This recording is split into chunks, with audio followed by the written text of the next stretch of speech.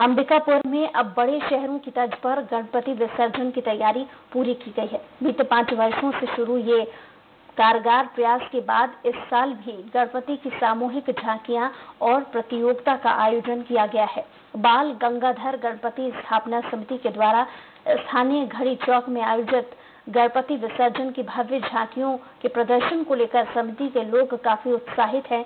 गौरतलब है कि यह आयोजन 12 सितंबर को आयोजित किया जाना है।